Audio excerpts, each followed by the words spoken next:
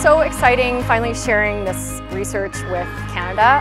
The purpose of it really for me was to start to understand the data that's associated with the rhetoric that we've been hearing for so long about the future work and flexible work.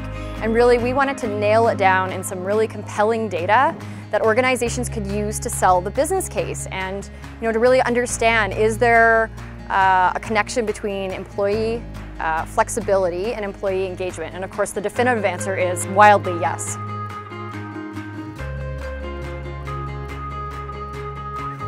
Talking about technology, we're talking about the future of work, we're talking about understanding the potential of the people in the organizations, we're talking about collaboration and communication. And I think that if we really actually slow down and understood the people in our organization, how we can extract as much potential out of them as possible, that then again, it's not about a generational problem or generational opportunity, it's about people. And if we can understand people, build relationships, and make work bigger than just punching in at 9 o'clock and out at 5 o'clock, then we can really extract the most out of our workplaces.